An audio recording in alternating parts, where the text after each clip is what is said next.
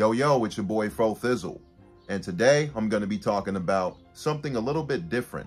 I've always been fascinated with MPAA ratings. Rated R, PG, PG-13, G, NC-17, formerly X. And I want to go through some pretty funny and bizarre reasons of why a movie was rated R, PG-13, etc.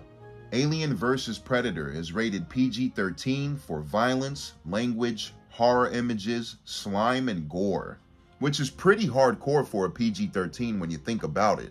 I know Tremors 1 is rated PG-13 for, I believe, creature violence and gore. I'm going to correct myself on that later.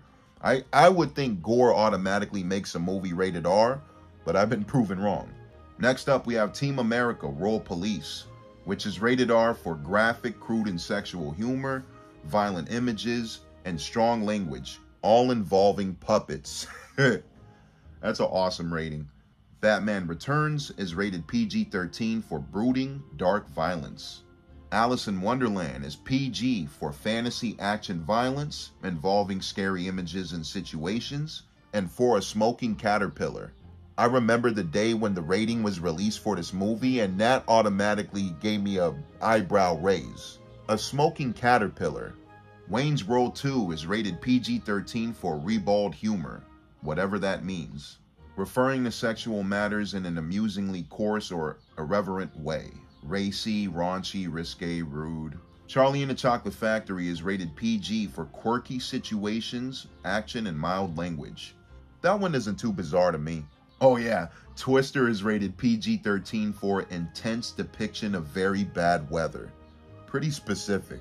Bushwhack, starring Daniel Stern, is rated PG for language and a mild birds and bees discussion.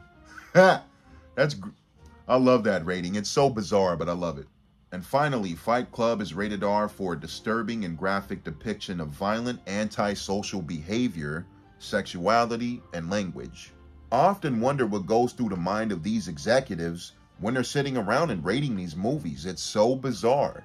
There were films in the 80s and the 70s that were rated PG that should have easily been a light R or a very heavy PG-13.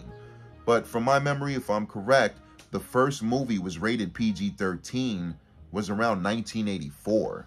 Let's double check that now. Yup, 1984, Red Dawn. The first rated R movie is a movie called Greetings, which was made in 1968, I believe. One second. Yup, directed by Brian De Palma, has Robert De Niro in a supporting role. First R movie was Greetings. Yup. There's millions of MPAA ratings out there, so if you guys want to hear me read more out loud, let me know in the comments. Until next time, peace.